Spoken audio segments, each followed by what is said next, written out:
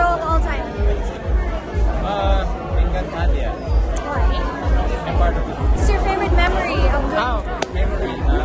Uh, Michelle